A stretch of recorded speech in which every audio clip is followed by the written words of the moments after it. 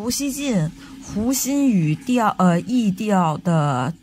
呃，预调就是这就是反正就上吊的那个地方，嗯，距离学校不足百米的树林里，当地警方找到的太慢了。胡新宇义调的遗体在他失踪一百零六天后被发现，而被发现的位置就在学校后山的树林里，距离学校院墙不足百米。这个结果太出乎意料了，当地警方有必要展开进一步侦查，针对人们的疑问给出信息。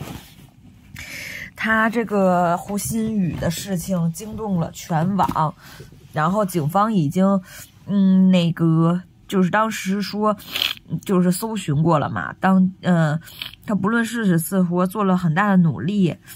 他发现遗体的这个山坡树林，按理说已经被搜寻过不止一遍，为什么这么近？理应是重点搜寻的地区的树林，有人那意调。之前就没有被发现呢？为什么非要一百多天后才被群众偶然看到呢？这的确很蹊跷。呃，这是第一现案发现场吗？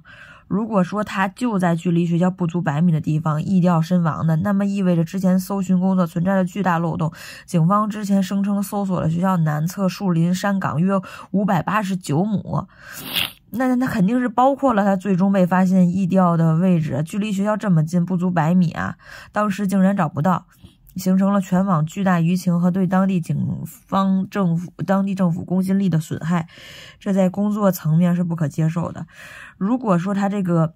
那这个异调现场不是第一案发现场，他胡鑫宇的遗体是被人移过去的，那就是刑事重案了。之前当地警方表示没有他杀迹象，因此未予以刑事立案，也就说不通了。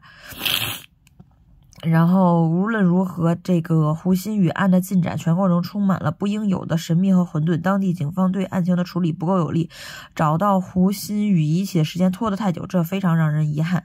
期待进一步的官方通报。